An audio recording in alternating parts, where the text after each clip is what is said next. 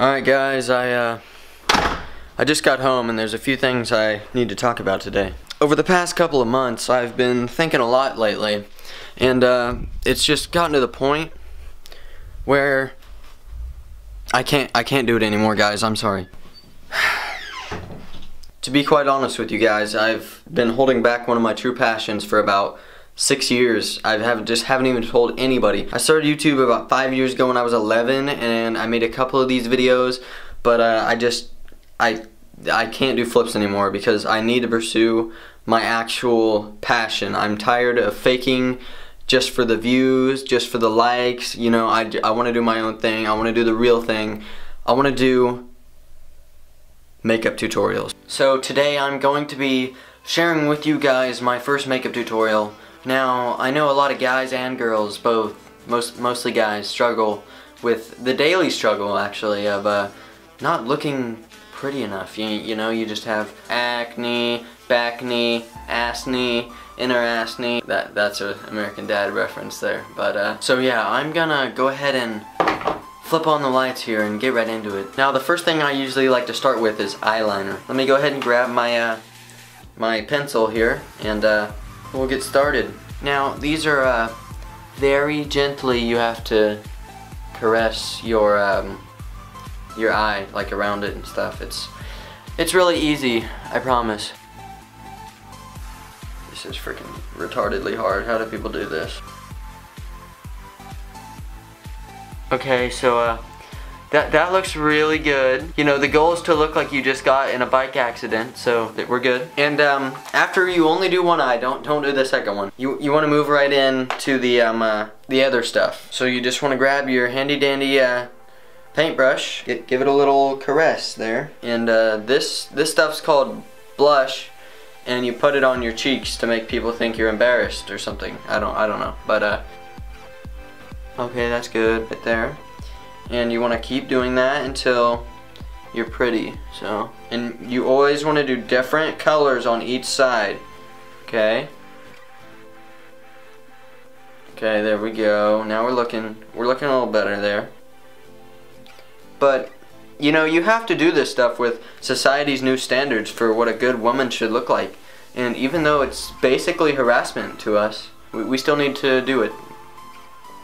For sure you want to go right across your chin with the brown. See how much I'm blushing right now? Yeah, it's because it's because I'm a beautiful woman. Make sure you don't shave your mustache first. I forgot. I shaved mine off. It's it's alright, but make sure you leave yours on. And then you want to grab the lightest color of blush you've ha you have. You just want to take this, and then you just want to go ahead and take this and uh, put it where your mustache is.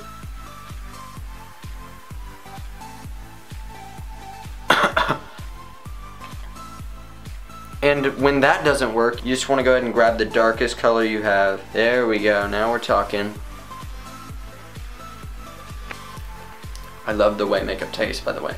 Make sure you don't mix them together. You want them to pop out and show differently, for sure. You know, I saw I saw one of these online that looked like a penis. So I usually just like to do these third. Alright, ready? It tastes like cinnamon. Mmm. And uh, now that you've got your delicious looking um, lipstick on, you're going to want to go ahead and move over to your left cheek, very important, left cheek, and you're going to want to go ahead and uh, draw kind of like almost like a W looking thing.